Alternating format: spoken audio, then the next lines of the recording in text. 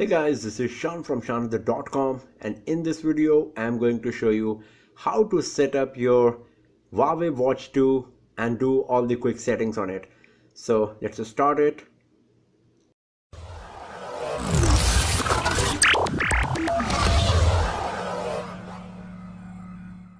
So first of all, just switch on your Huawei Watch 2 by pressing this power key here on the top there are two keys as you can see. You have to press the first one on the top.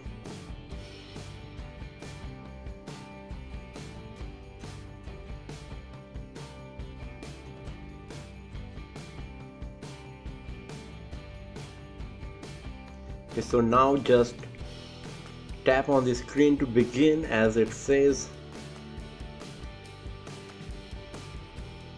And on the next screen it will ask you to select the language so select any language of your choice. I'm going to select English United States. And then it will ask you to agree to the Huawei end user license agreement. Just tap on this icon here. And now you need to take your phone here. Go to the settings on your device switch on the Bluetooth and as it says here on your Huawei Watch 2 that you need to download and open Android Wear. In Android Wear connect this watch with the name Huawei Watch 2 so first you need to download the android wear application from the play store so go to the play store look for the android wear. Just download it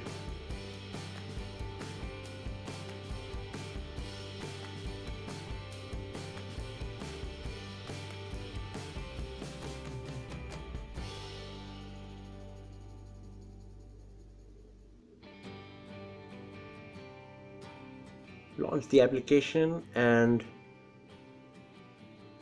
tap on set it up agree to the terms and condition turn on bluetooth and location. The bluetooth is already turned on so just give all the permission. It is asking. And now it's looking for the watch here. So you can see that now it is showing my watch Huawei Watch 20317 here is the same Huawei Watch 20317 so just tap on this. Now it's connecting.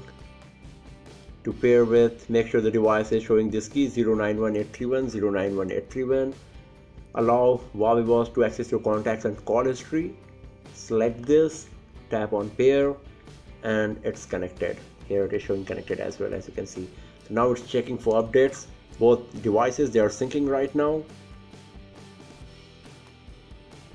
so now you can connect your google account to your watch as well. I'm just going to skip it. You can select on next as well. Stay connected to the wi-fi. Tap on connect. Chat with your friends. Send messages from your watch. Sync your contacts. Tap on next as well. Give the permission to the device to accessing your contacts and messages. And also select for the calendar. Give the permission once again. And get notification at a glance tap on next as well. And then it will ask you for the permission for notification access. So you have to just tap on the slider in front of Android Wear and then give the permission. Tap on allow and you are all set. So tap on done and you can see that showing you're all set once again and uh, I need to just update my Google Play Store or Google whatever it was. So let's have a look on the device now.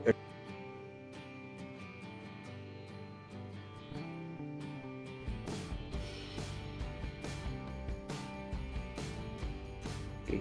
So this is the sample notification. Tap to get more detail tutorial to get started swipe up it's showing me lots of tutorials here. This is a sample notification tap to get more detail I'm tapping on it. Then it is showing me more instruction and how the notification appears on the watch face and all. Swipe right to exit press power button to go back to the watch face. So it is giving all the important tutorials. Press button to see app. So I'm pressing it once again and here is the list of application as you can see here I got agenda contacts.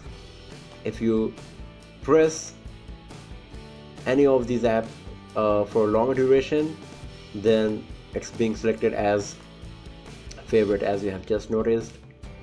So we got daily tracking find my phone lots of stuff. So the whole setting is done as you can see. If you go to the settings you will find more option for display you can select whether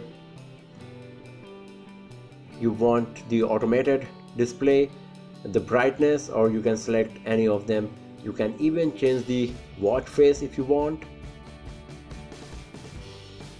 And then we are having sound notification apps gesture. You can select tilt to wake or wrist gesture right now tilt to wake is selected. We are having wrist gestures as well. You can once again have a look on the launch tutorials if you want. And if you tap on more tips it will show more tips about the Huawei Watch 2 so if you tap on tilt to wake it's the selected wrist gesture is on as well now. And let's go back by swiping right. Then we're having connectivity accessibility.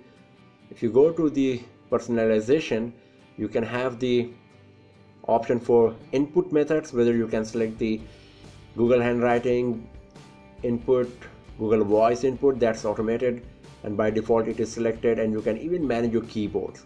And once again for the account you can add your Google account. In the previous step maybe you noticed that I skipped my account. I did not added my account to this device so that's why it is showing.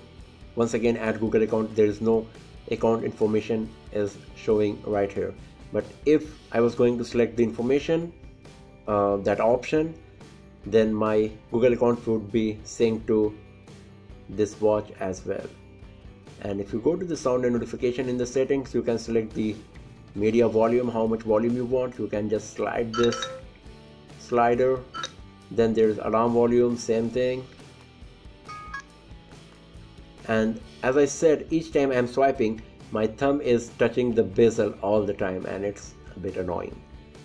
So this is what we got here. Then you can select the font size whether you want the small ones or normal ones.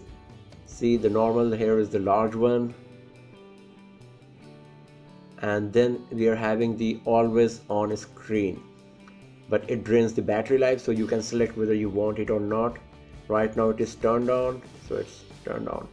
So this is all of the settings that you will find on your Huawei Watch 2 and if you want you can change the watch faces as well